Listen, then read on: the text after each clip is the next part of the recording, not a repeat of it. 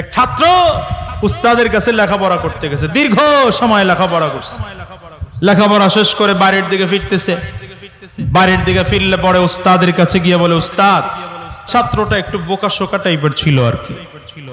মাদ্রাসা কমই মাদ্রাসায় তো পড়ায় ওই ছেলেটারই যেটা সবচেয়ে বড় বোকা। চালাক গুলারে সব ভর্তি করে doctor, engineer, advocate, pilot, barrister চার পোলার মধ্যে যেটা সবচেয়ে বলদ ওইটার এনে মাদ্রাসায় ভর্তি করে কথা বলেন না কেন? যেটারে কিন্টার গার্ডেনে ভর্তি করাইছে, ওটার পিছনে মাসিক বেতন আছে। ইংলিশ টিচারের বেতন পাঁচ হাজার, বাংলা টিচারের বেতন তিন হাজার। আবার যিনি গণিত পড়ায়, তার বেতন পঁয়ত্রিশশো টাকা। আবার সপ্তাহে একজন এসে নাচ শিখায় যায়, প্রতি সপ্তাহে আসলেই দুই হাজার টাকা দেওয়া লাগে। কথা বল না কেন? আর মাদ্রাসায় যেই ছেলেটারে ভর্তি করাইছে, হুজুরের কাছে হুজুর ফ্রি খাওয়ান যায় না। নাই, আপনার নারায়ণগঞ্জে নাই, আমাকে বরিশালের কথা বলতেছি। আছে? হায় হায় হায় রে মুসলমান। ইসলাম কায়েম করবে, এত সহজ। তো বেচারা বোকা শোকা, উস্তাদের কাছে গেছে উস্তাদ। এতদিন পড়লাম, বাড়িতে যাচ্ছি, কি করব? উস্তাদ দুইটা নসিহত করে দিছেন। কয়টা? এক নম্বর, আল্লাহর ভয় অন্তরে ঢুকাইবা, তাকওয়ার ভয় অন্তরে ঢুকাইবা। ভেতরে কি ঢুকাইবা? তাকওয়া ঢুকাইবা। দ্বিতীয় নম্বর কাজ হলো হুজুর বুঝলাম তাকওয়া ঢুকাইলাম, খামো কি কইরা? কয়, তোমার আব্বা যেটা করতো সেটা কইরা খাইবা। তোমার বাবা যেটা করতো? উস্তাদের উদ্দেশ্য ছিল বাবা যদি বাবা যদি কি বলে, ডাক্তার হয় তুমি ডাক্তারি করবা। বাবা কৃষি, কৃষক হলে তুমি কৃষক হবা। উস্তাদের উদ্দেশ্য ছিল এটা কারণ বাবার কাজ সন্তানের করা সহজ হয়। বাবা একটা পথ আগায় রাখছে। বাবা মুদি দোকান দিয়ে রাখছে। তিরিশ বছর চলতেছে কাস্টমার রেডি আপনি গিয়ে বসলেই বসলেই কথা ঠিক না? বেচা কিনা শুরু। আর আপনি নতুন করে একটা দোকান দেওয়া বড় মুশকিল। আপনার বাবার একটা গার্মেন্টস ছিল। আপনি গার্মেন্টসটাকে গিয়ে স্টার্ট দেওয়া শুরু করছেন। হুজুর বলছে ওইটা। ও তো বাড়িতে গেছে। বাড়িতে গিয়ে ওয়াজ পাইছে দুইটা হুজুরের। কয়টা? এক নম্বর কি? বলেন না। এক নম্বর কি? দ্বিতীয় নম্বর? বাপ যেটা করছে ওইটাই করবা। বাড়িতে গিয়া মারা জিজ্ঞাসা করছে মা বাবা তো মারা গেছে। আব্বাই কি করতো? মা কয়টা বলা যাবে না। এটা শরমের কথা। কেন বলেন না না বলা যাবে না। বলেন আমার ওস্তাদ বলছে বাবা যেটা করতো আমি ওইটাই করতে কইছি। মা কয় তাইলে তো বলাই লাগে তোর বাপ চুরি করতো। কি করতো? বাস উস্তাদের কথা মাইনে নিছে। আশ্চর্যের ব্যাপার হলো ছাত্র বাড়িতে ফিরতে ফিরতে উস্তাদ মারা গেছে। উস্তাদ কি করছে? মারা গেছে। এখন উস্তাদের কাছে গিয়ে সবক পাল্টায় আনারও তো সুযোগ নেই।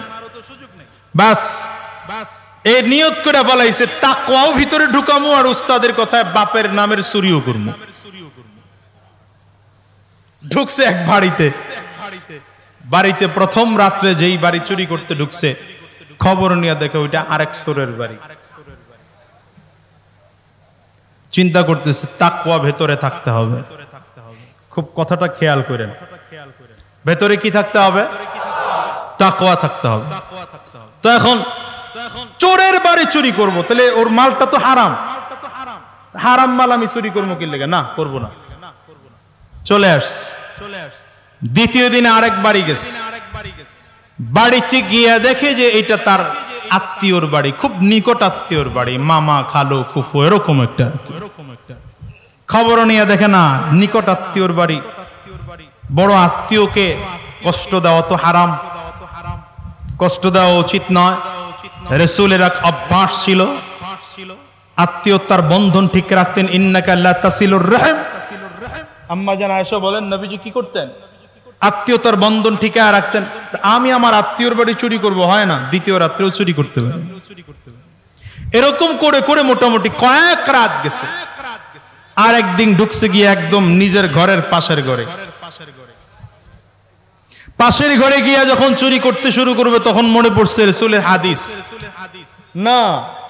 বলি, জারিকা আলাইকা হক। আরে তোমার প্রতিবেশীর প্রতি তো তোমার হক আছে। না এবারেও চুরি করা যায় না। লম্বা কথা, খবর নিয়া এক বড় লোকের বাড়ি ঢুকছে। বড় লোকের বাড়িতে ঢুইকা, যেখানে খাজানা রাখা গোডাউনের মধ্যে ঢুকছে। ঢুইকা সিন্দুক যেভাবে হোক হ্যাক করে দরজা খুলে তাকায় দেখে, টাকা, স্বর্ণগুলো সব ধাপে ধাপে ধাপে ধাপে রাখা। ধাপে যাবি যে রাখা, প্রতিটা বান্ডিলের সাথে আবার কাগজের টুকরা দিয়ে লেখা আছে এটা জাকাত দেওয়া হয়েছে। মানে কোন টাকাটার জাকাত দেওয়া হয়েছে ওটা ওখানে লেখা আছে। এটার এখন সাত মাস পূরণ হলো। এখনও জাকাত দেওয়া হয় নাই। আবার আরেকটা, এটা এতদিন পূরণ হলো। এখন চলে বসে বসে চিন্তা করতেছে, নিলে তো যেটা জাকাত দেওয়া হয়েছে ওরকম সম্পদই নেওয়া দরকার। একটা একটা করে বাঁচতেছে। এত কায়দা করলে কি চুরি হয়? কায়দা কানুন করতে করতে ফজরের আজান দিয়ে ফেলাইছে। ফজরের আজান যখন চারিদিক থেকে শুনছে, এর ভেতরেও আজানের স্পিড এসে গেছে। ওই জায়গায় দাঁড়ায় আজান শুরু করছে। আজান শুনে ঘরের মালিক দৌড়ে আসছে, কি হলো রে? এতদিন তো আজানের আওয়াজ শুনতাম, দূরে দূরে, আজকে তো রুমের মধ্যেই মনে হয়। তাড়াতাড়ি করে ঘুম থেকে উঠে দেখে এক যুবক, দাঁড়া, সুন্নতি পোশাকও আছে, দাড়িও আছে মাথায় একটা টুপিও আছে। ব্যাস, আজান দেয়া শুরু করছে। আজান শেষ হইলে কয়, কিরে, তুই হেনি কি করস? কয়, টাইম নেই, তাড়াতাড়ি অজু করে। নামাজ পড়বেন? নামাজ তো পড়ব। বলে, নামাজ পড়ে উজু করে আসে। ব্যাস, বেচারা আর কিছু জিজ্ঞাসা না করে মনে করছে হয়তো কোনো দিক দিয়ে কিছু হয়ে গেছে। অজু করে আসছে।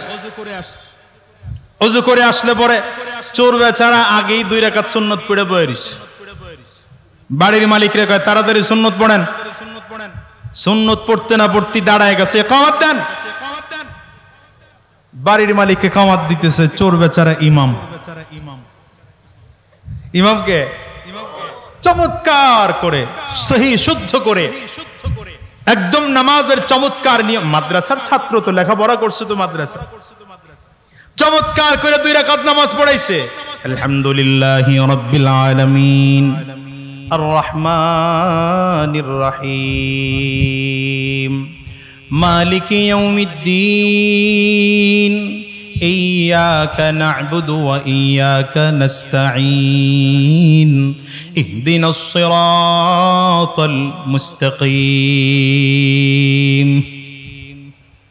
নামাজ শেষ করে ফেলছে দুই রাকাত নামাজ কমপ্লিট করলে ফজরের নামাজের পরে ইমামতির মুসল্লায় বসে আছে চোর মুসল্লির মুসল্লায় বসে আছেন বাড়ির মালিক জিজ্ঞাসা করলেন বাবা চারিদিক তো দরজা বন্ধ ছিল কেমনে তুমি ঢুকলা বলে চুরি করে ঢুকছি কেন চুরি করে ঢুকছ আপনার সম্পদ চুরি করার জন্য ঢুকছি। বাড়ির মালিক টের পায় চারিদিক থেকে দরজা আটকাইছে। যাবি কই আজকা?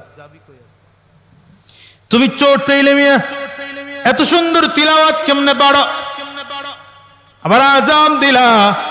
চুরি করতে ডুইকা বেটা কেউ বোকা আজান দেয় নাকি? চুরি করতে ঢুকে কেউ কি আবার ইমামতি করে নাকি? চুরি করতে গিয়া কেউ কি আবার এত চমৎকার তেলাওয়াত করে নাকি? তোমার দেখলে তো ভালো মনে হয়, ভালো মানুষের মতো মুখে দাঁড়িয়ে আছে, মাথায় টুপিও আছে, সুন্নতি পোশাকটাও আছে, দেখতে তো চমৎকার মনে হয়, কেন ঢুকলা? আল্লাহর বান্দা বলেন, চুরি করব না তো কি করব? আমার উস্তাদ বলেছেন, বাবা যা করতেন আমি তাই করব। আমার বাবা চুরি করতেন, আমিও বাবার কথায় চুরি করা আরম্ভ করে দিয়েছি। তবে চুরি করলে কি হবে?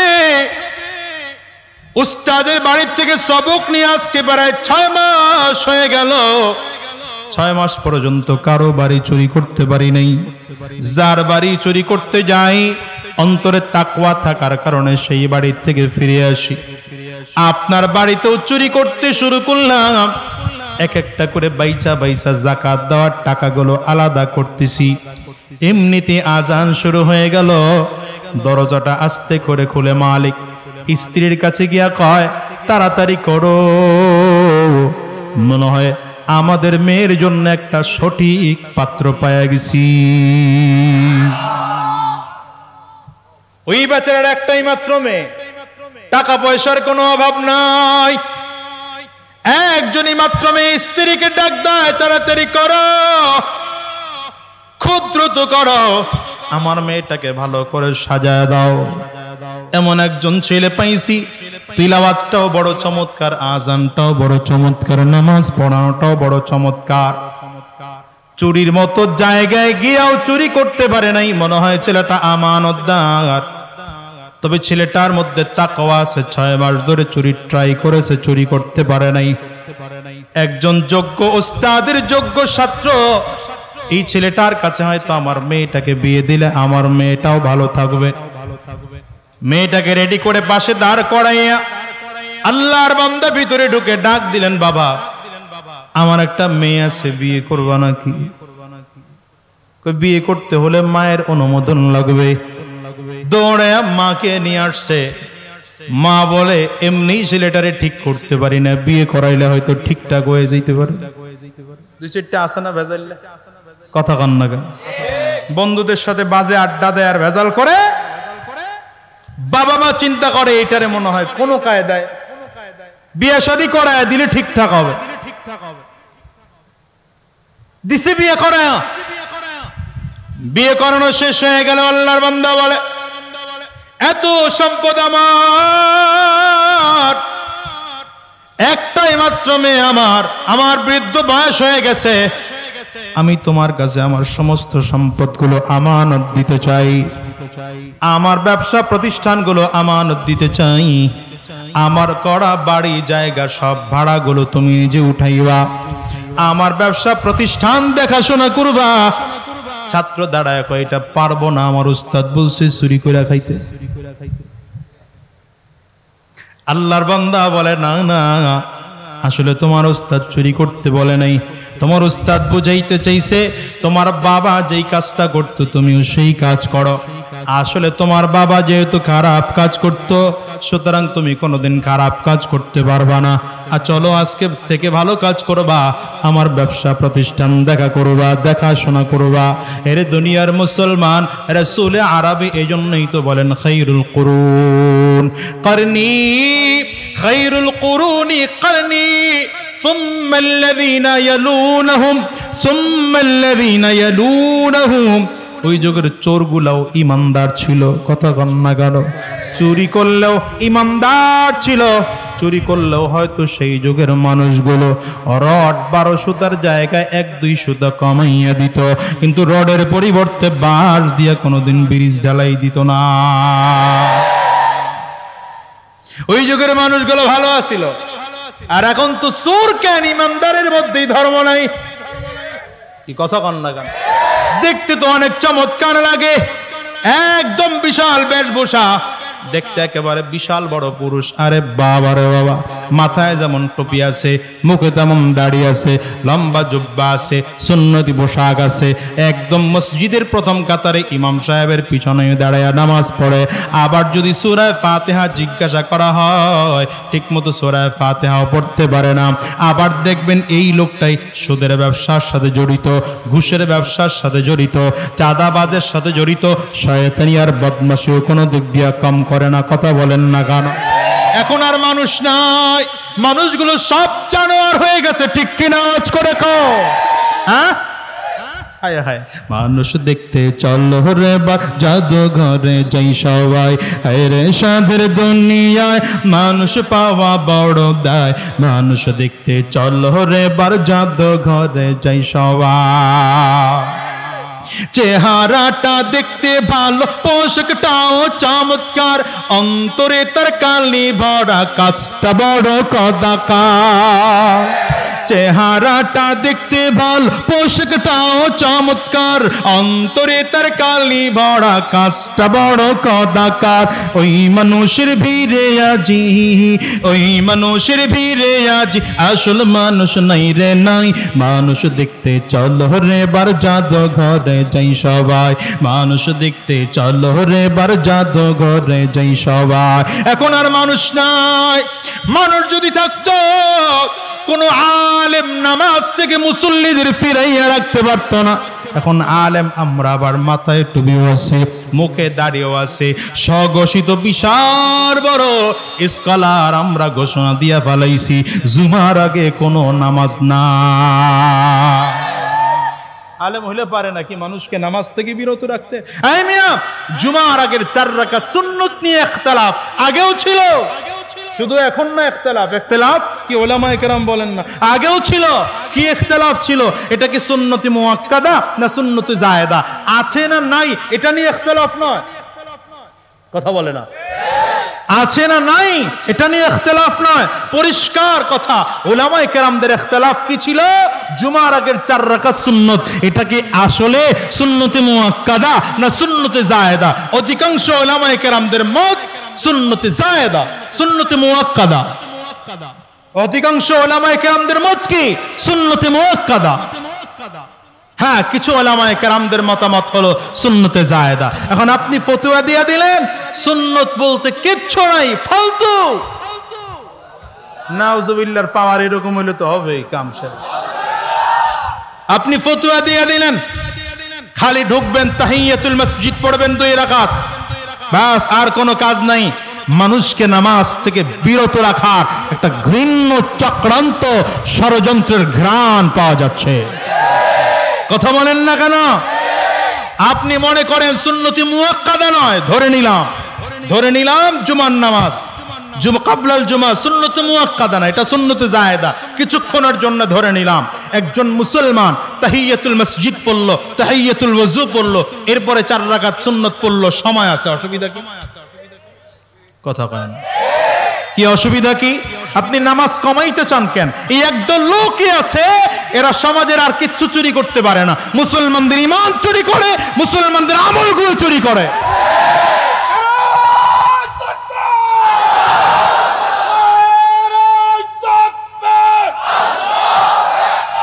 ইসলামের শত্রুরা দুনিয়ার মুসলিম শোনেন কাফের আসলে ব্যাপার হলো কি জানেন মুসলমানরা, ইহুদি খ্রিস্টানরা চায়, মুসলমানরা আল্লাহর কদমে সাজদা কম দিক। শয়তান চায়, মুসলমানরা আল্লাহর কদমে সাজদা কম দিক। আপনি বড় আলেম, আপনি বড় মুফতি, আপনি বড় মুহাদ্দিস, আপনি বিশাল কিছু। কিন্তু আমরা বাহ্যিক দৃষ্টিতে দেখতেছি, শয়তানের কাজটাই আপনি করতেছেন। আমি আপনাকে শয়তান বলতেছি না। নাউজুবিল্লাহ। এত বড় আলেমকে আমার মতো একজন পিচ্ছি মানুষ শয়তান বলার ক্ষমতা রাখে না। কিন্তু দেখতে পাচ্ছি সাধারণ দৃষ্টিতে শয়তান যেটা চায়, আপনি সেটা করতেছেন। রাগ করতেছেন মনে হয়? হ্যাঁ? তারাবির নামাজ গুছায় গাছায় আট রাকাত বানাইছেন। আবার বলছেন কোয়ালিটি মেনটেন করলে দুই রাকাত পড়লেও চলে।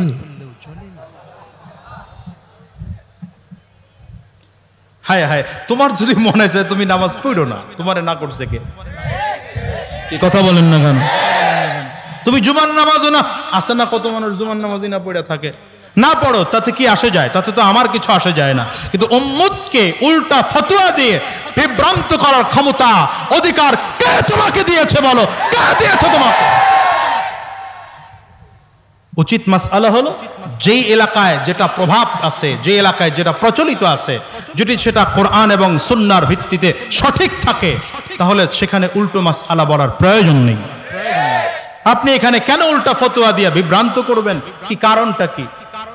এই খুব বেশি বড় আলেম, এটা প্রকাশ করতেছেন। আমার এলেম খালি সাইরুদিকে বাইয়াছে পরে শয়তানের কিন্তু অনেক এলেম ছিল। শয়তানের কথা কন না কেন? শয়তান অনেক বড় আলেম, শয়তান অনেক বড় আবেদ। কথা বলে না শয়তান অনেক বড় আলেম ছিল, শয়তান অনেক বড় আবেদ ছিল। কিন্তু শয়তান আশেক ছিল না, শয়তান আরেফও ছিল। আরেফ মানে আল্লাহকে ভালো করে চিনতে, এই জন্য বের হয়ে যাওয়ার সময়ও কয় আল্লাহ। বের করে দাও, অসুবিধা নাই। কিন্তু আমারে বের করে দেওয়ার আগে আগে কয়টা আমার অধিকার আছে, এগুলো আমি চায়া নিতে চাই, এগুলো আমারে দাও। এখন ইমানদারদের মধ্যেও তাকওয়া নাই। এখন কোরআনওয়ালাদের মধ্যেও তাকওয়া নাই। ইসলামওয়ালাদের মধ্যেও তাকওয়া নাই। এখন দিনদারদের মধ্যেও তাকওয়া নাই। সাহাবায়ে কারামদের যুগ, তাবেঈনদের যুগ তবে তাবেঈনদের যুগ। সাহাবায়ে কারামদের যুগটা কত চমৎকার যুগ ছিল। একটা ওয়াক্ত নামাজ যদি ছুটে যাইতো, কান্না শুরু করে দিতেন। তারাবি নামাজ ছুটে গেছে, কান্না আরম্ভ করেছেন। তকবীরে তাহরিমা তকবীরে উলা ছুটে গেছেন কান্না শুরু করে দিয়েছেন। আমাদের নামাজ বড়ি বড়ি ছুটে যায়, আমরা কান্নাও কোনোদিন করি না। সাহাবায়ে কেরামদের অবস্থা, আল্লাহ আকবার। রসুল আরবি সাল্লাল্লাহু আলাইহি ওয়াসাল্লাম বলেন, মুমিন বান্দা যখন কোনো গুনাহ করে ফালায়, মুমিন বান্দার মনে হয়, আমি কোনো পাহাড়ের নিচে বসে আছি। এই পাহাড়টা আমার ঘাড়ে পড়বে আর আমি দুনিয়ার থেকে বিদায় হয়ে যাব। পাহাড়টা সরানোর জন্য ব্যস্ত হয়ে যায়, পাহাড়টা সরানোর জন্য ব্যস্ত হয়ে যায়। এই জন্যই বলছিলাম, মহিলা জিনা করে পালাইছে। নবীর সাহাবি জিনা করে ফেলেছেন। জিনা করে, জিনার ফসল বাচ্চা পেটে চলে আসছে। বিশ্ব নবী রহমতুল্লিল আলামিনের দরবারে চলে আসছেন পয়গম্বর। আমি মহিলা জিনা করে ফেলেছি। আমার নবী বলেন, না না, আমার সাহাবি জিনা করতে পারে না। চেহারাটা ডান দিকে ঘুরাইয়া ফেলাইছেন। আল্লাহর বান্দি আবার ওই সেইটে গিয়া ডাক দেয়, পয়গম্বর, আমি জিনা করে ফেলেছি। রাসূলে আরবি চেহারা আবার গড়িয়ে ফেলেছেন। না আবার জিনা করতে পারে না। মহিলা আবার গিয়া বলেন, পয়গম্বর, আমি জিনা করেছি। এক একবার করে করে তিনবার বললেন, হুজুর, আমি জিনা করেছি। শুধু জিনা করছি তাই নয়, আমি জিনা করার পরে আমার জিনার ফসল আমার পেটের মধ্যে চলে আসছে। আমার পেটে আমার সন্তান রহমতুল্লিল আলামিন বলেন, তুমি জিনা করছ? তোমার সন্তান তো কোনো অপরাধ করে নাই। আমি সন্তানকে সহ কোনো শাস্তি তোমারে দিতে পারব না। একটা কাজ করো, আগে তোমার সন্তানকে প্রসব করে আসো, তোমার সন্তানকে এখন পেটে ধারণ করো। যেদিন তোমার সন্তান দুনিয়ায় ভূমিষ্ঠ হবে, সেদিন তুমি আমার কাছে আসবা। মহিলা পেরেশান হয়ে গেছে, বেচাইন হয়ে গেছে, কবে আমার সন্তান দুনিয়ায় আসবে? আমি কবে মুক্ত হব? খালাস হব। আমার সন্তান কবে দুনিয়ায় ভূমিষ্ঠ হবে? লম্বা সময় পর সন্তান দুনিয়ায় ভূমিষ্ঠ হলো। সন্তানকে কোলে নিয়ে রহমতুল্লিল আলমিনের সামনে চলে আসছে। রসুল গো, নবী গো, আমার সন্তান এবার ভূমিষ্ঠ হয়েছে। আমাকে আমার জিনার শাস্তি আমারে দিয়ে দেন। আমার নবী কয়, না না, এখন যদি সন্তানকে শাস্তি দেওয়া হয় তাইলে হবে না, তোমার সন্তানটা কষ্ট পেয়ে যাবে। কারণ সন্তানের জন্য শুরুতে মায়ের বুকের দুধটা অনেক বেশি প্রয়োজন। কে বলেছেন, আমার নবী রহমতের নবী ছিলেন না কে বলেছেন, আমার নবী মানবতার নবী ছিলেন না কে বলেছেন, আমার নবী মানবতার নবী ছিলেন না কে বলেছেন, আমার নবী দয়ার নবী ছিলেন না কোন বদমাস আমার নবীকে চরিত্রহীন বলে গালি দেয়। কোন বদমাস এদেশে আছে না নাই চিল্লায় জোরে বলেন। যারা আমার নবীর চরিত্র নিয়ে কথা বলে, যারা আমার নবীকে আমার নবীকে নারী নবী বলে গালি দেয়, যারা আমার নবীকে অবিশ্ব নবী রহমতুল্লিল আলমীর একের অধিক বিয়ে করার কারণে নারী নবী বলে গালি দেয়, এরে মুসলমান, তোমাদের কাছে জানতে চায় কাশীপুরের মুসলমান নারায়ণগঞ্জের মুসলমান তোমাদের কাছে জানতে চাই, যে বদমাসগুলো আমার নবীকে নারী নবী বলে গালি দেয়, যে বদমাসগুলো আমার নবীকে আমার নবীকে ধর্ষক বলে গালি দেয়, যেই নবী বদমাসগুলো আমার নবীকে ধর্ষক বলে গালি দেয়। এ বাংলার জমিনের মুসলমানদের শরীরে একটা ফোঁটা রক্ত থাকা সত্ত্বেও নবীর বিরুদ্ধে কেউ গালি দেবে, আমরা মেনে নিতে পারি না। হাত তুলে বলো ঠিক কিনা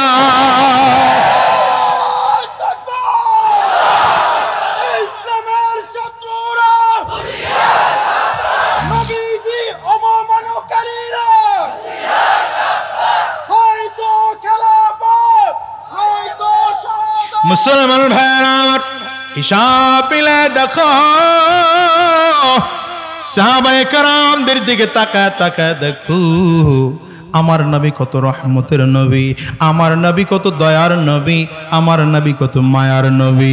আস্তে করে মহিলাকে লক্ষ্য করে রহমাতুল্লিল আলামিন বললেন, না না না না, তোমাকে এখন শাস্তি দেওয়া হবে না। কারণ তোমার বুকের দুধ তোমার বাচ্চার জন্য অনেক বেশি প্রয়োজন। যেদিন তোমার বাচ্চা বাহিরের খাবার খাওয়ায় অভ্যস্ত হয়ে যাবে, সেদিন আমি নবী শাস্তি তোমাকে দেব। মহিলা তো আশ্চর্য হয়ে গেছে পা খাওয়ার জন্য পেরেশান হয়ে গেছে। মহিলা রসুল আরবের দরবার থেকে যায় আর চোখের পানিগুলো ছেড়ে ছেড়ে কান্না করে, আর ডাক দেয় মালি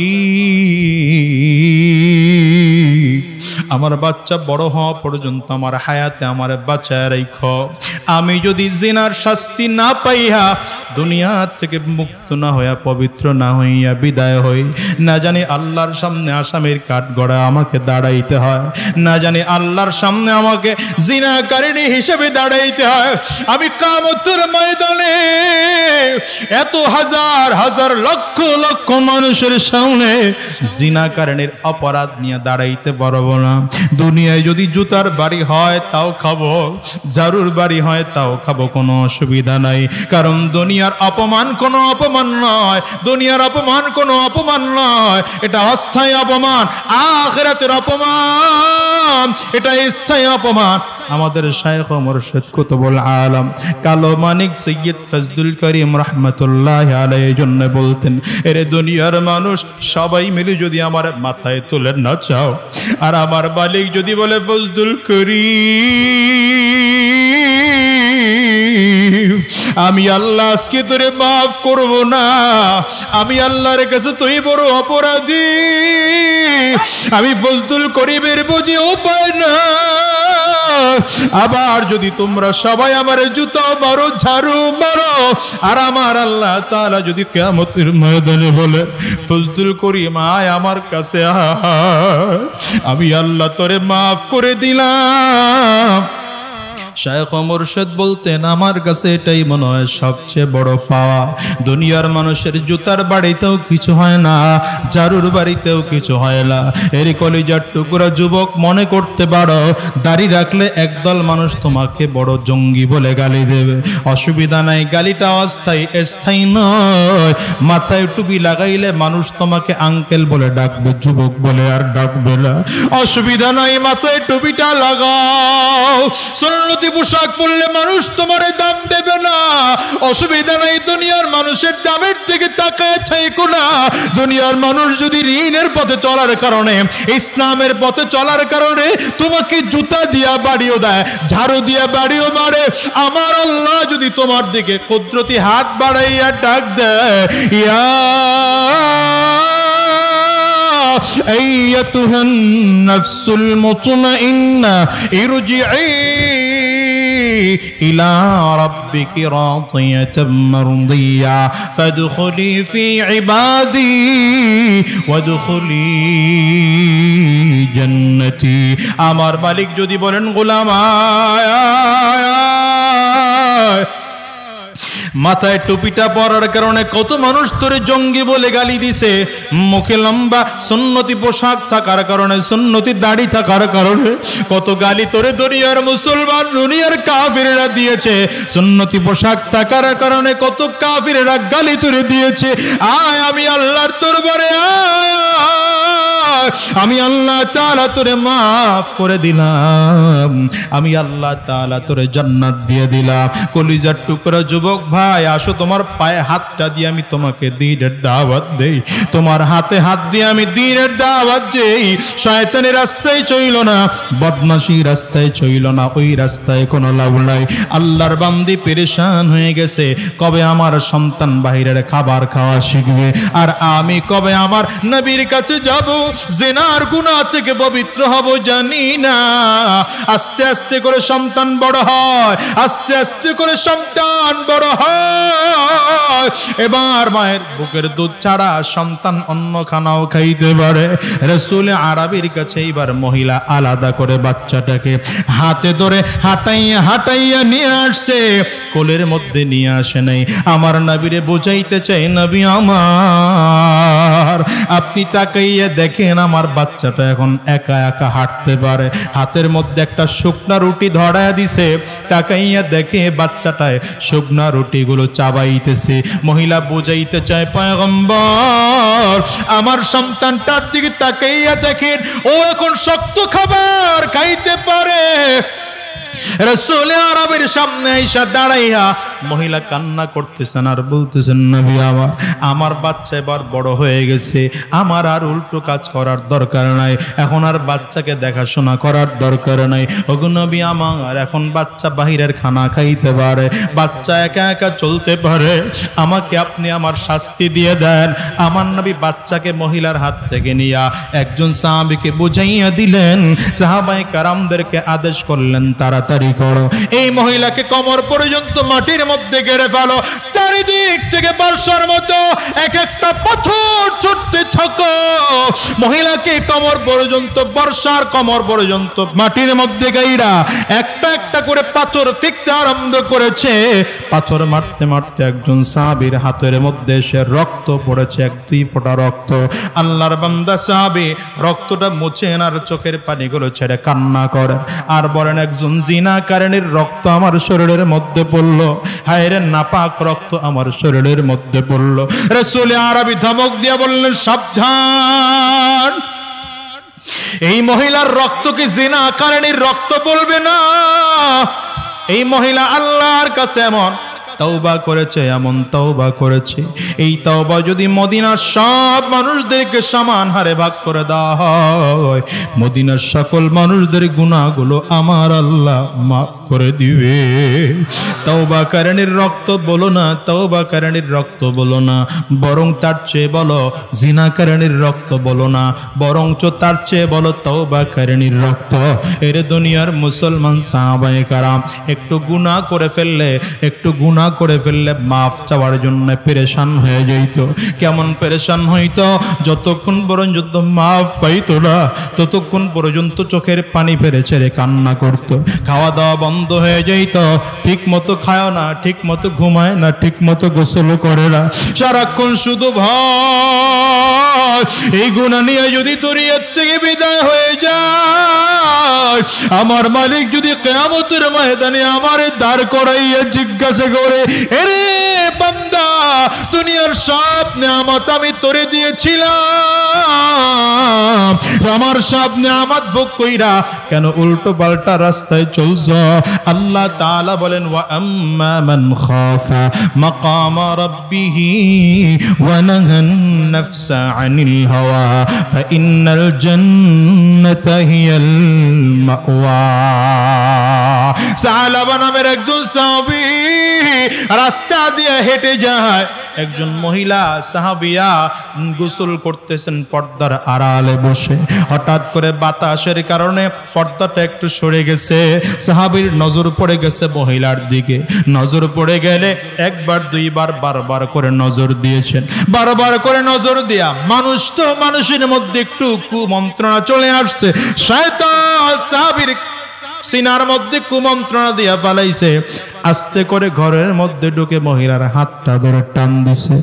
হাত ধরে টান দিলে আল্লাহর বান্দি সাহাবি বলে, ভাই রে সাওলা কেন তুমি আমার হাতটা ধরে টান দাও? আমি তোমার ভাইয়ের আমানত। আমার দিকে তাকানোর তো পর্যন্ত তোমার জন্য জায়েজ নাই। আমার হাত কেন ধরলা? উদ্দেশ্য তোমার ভালো নয়। ইয়া আব্দুল্লাহ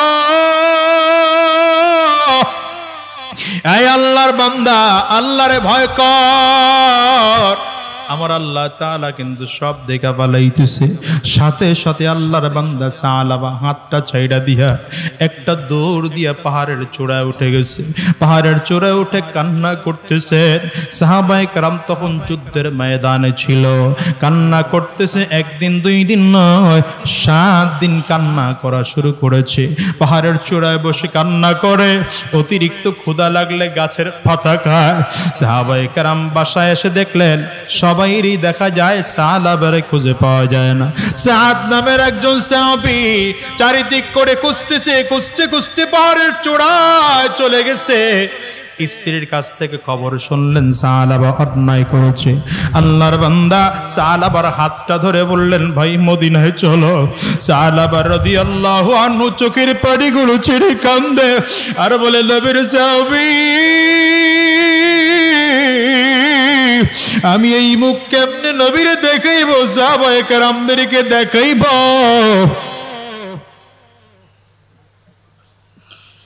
আমি আমার এই চেহারা কাউর দেখাইতে পারব না। তুমি আমার ছেড়ে চলে যাও, আমি বাড়ি ফিরে যাব না। সাদ বলেন, ভাই, চলো। বাধ্য করলে বললেন, ভাই, যদি যাইতে হয় তাইলে একটা কাজ করো, আমার হাত দুইটা পেছনে নিয়ে গাড়ের মধ্যে রশি দিয়া বাঁধো। এরপরে আমার রশিটারে টানো, মনে হয় যেন আসামি দইরা নিতেছ। আহারে, হাত ধরে ধরে আসামির মতো নিয়ে আসতেছে। রাস্তার কাছে আসলে ঘরে ঢুকার আগে আগে বললেন, আমাকে নিয়ে একটু অমরের কাছে যাও। হজরত অমরের কাছে গিয়ে বললেন, ভাই, অন্যায় করে ফেলাইছি।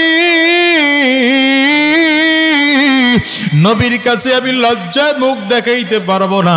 আমাকে আল্লাহ তালা মাফ করলেন কিনা বলো? আমাকে আল্লাহ মাফ করবেন কিনা? হজরত আমর বললেন, আমানতের খেয়ানত করি, আমার ঘর থেকে বের হয়ে যাও। হজরত আমর বড় রাগী মানুষ, চলে গেলেন হজরত আলীর দরবারে, তিনিও বের করে দিলেন। চলে গেলেন আবু বাকার সিদ্দিকের দরবারে, তিনিও বের করে দিলেন। আল্লাহর বান্দা চিন্তা করলেন, এতজন সাহাবীর কাছে গেলাম, যেহেতু পানেই নাই, চাইছিলাম নবীর কাছে আমার অন্যায়টা বলব না। এবার রসুল আরবের দরবারে চলে গেলেন। আমার নবী মাথাটা নিচের দিকে দিয়ে বললেন যার বান্দা, তার কাছে ক্ষমা চাও, তুমি আমার বান্দা নয় আমি তোমার ক্ষমা করার মালিক নয় ক্ষমা করার মালিক কে? কে চিল্লা আল্লাহর বান্দা, তুমি আল্লাহর কাছে ক্ষমা চাও। আমার মালিক মাফ না করলে আমি তোমারে মাফ করতে পারব না। সালাবা দৌড়ে পাহাড়ের চূড়া। মদিনার বুকে আর আসে না রাত্রিবেলা ওখানেই জোরে জোরে চিল্লায় দয়ার মালিক। তুমি তাকাইয়া দেখো তোমার কত বান্দারা সন্তানদেরকে নিয়ে আরামের মধ্যে আছে। তুমি তাকাইয়া দেখো তোমার কত বান্দা আজকে আরামে স্ত্রীদেরকে নিয়ে ঘুমায়। তোমার কত বান্দা ঘরের মধ্যে আরাম করে। আমি সালাবা আরাম করতে পারি না। আমার কি কেউ নাই, আমার কি কেউ নাই। এর যুবক বিবেকটার একটু জাগ্রত কর। দিলটার একটু নরম কর। চোখের পানিটার বের কর। কোন নবীর সাহাবীর কথা বলতেছি? যারা, যাদের ব্যাপারে আমার নবী জান্নাতি ঘোষণা করেছেন। এই সাহাবি ছোট্ট অন্যায়ের কারণে কি পরিমাণ কান্না করে? আরে আল্লাহ তাআলা কান্নার জবাব শুনা ফেলাইছে। আমার মালিক তো কান্না শুনতে পারেন না, বান্দার চোখের পানি সহ্য করতে পারেন না। আল্লাহ পাকের কুদরতি অন্তরের মধ্যে জোশ এসে যায়। রব্বুল নবীজির কাছে জিবরিল পাঠাইয়া দিলে ওগো পয়গম্বর আপনার সালাবা আপনার উম্মত। আপনার উম্মতকে আপনি ফিরাইয়া দিতে পারেন না। আল্লাহ তাআলা তারে মাফ করে দিয়েছে তাড়াতাড়ি ফিরাইয়া আনলেন হযরত আমার রওনা করেছেন ফিরাইয়া আনতে। লম্বা কথা তাকে দেখতেছেন গাছের গোড়ায় বসে বসে চিল্লায়া কান্দে। অন্ধকারের রাত্রির মধ্যে ডাক দিছে, ভাই, তোমার পক্ষ আয়াত নাজিল হয়েছে, তোমার পক্ষে আল্লাহ ছিল। নবী আমাদেরকে নেওয়ার জন্য পাঠাইছেন, তাড়াতাড়ি চলো। আল্লাহর বান্দা কয়, আমি এখন যাব না, গেলে অন্তত শেষ রাতে যাব। যখন নবী নামাজের মধ্যে থাকবে, কারণ এখন গেলে আমি নবীর কাছে মুখ দেখাইতে পারব না। আল্লাহর বান্দাকে নিয়ে যখন হজরত আমর আর সালমানে ফার্সি রাদিয়াল্লাহু আনহু মদিনার দিকে ঢুকতেছেন হজরত বিলাল তখন আজাম দিচ্ছেন, বাহিরে দাঁড়ায় রইছে। যখন আল্লাহ আকবার আল্লাহ আকবার, একামত শুরু হয়ে গেল। কদ কামতিস আল্লাহর বান্দা আয়েশা তাড়াতাড়ি নামাজের পিছনের কাতারে দাঁড়ায় গেছে। রাসূল আরবি রাহমাতুল্লিল সেদিন নামাজের মধ্যে পড়েন আল্লাহ কুমুত্তাকাসুর হাত্তা জুরতুমুল মাকাবির এরে মুসলমান আল্লাহর বান্দা জোরে জোরে দুইটা মেরেছে। বলে, হুজুর, চরমনাইয়ের মুরিদরা কেন লাফায়? এর বান্দে, এটা তোমারে বোঝানো যাবে না। কেন লাফায়? তুমি ওই মসজিদের মধ্যে বসো নাই। এই মিষ্টি তুমি খাও নাই, তোমারে বোঝানো যাবে না। আল্লাহর বান্দা দুইটা চিৎকার দিয়েছে নামাজের মধ্যে বিকট শব্দ করে। আল্লাহর বান্দার চিৎকার হলে নামাজ শেষ হয়ে গেল। আমার নবী ডাক দেয়, কিরে আমার আমার সালাবা কই হজরত অমরকে হুজুর নামাজের মধ্যে চিল্লালে দুইটা আপনার সালা ভাই দিছে। আপনি কি একটু পেছনে দাঁড়া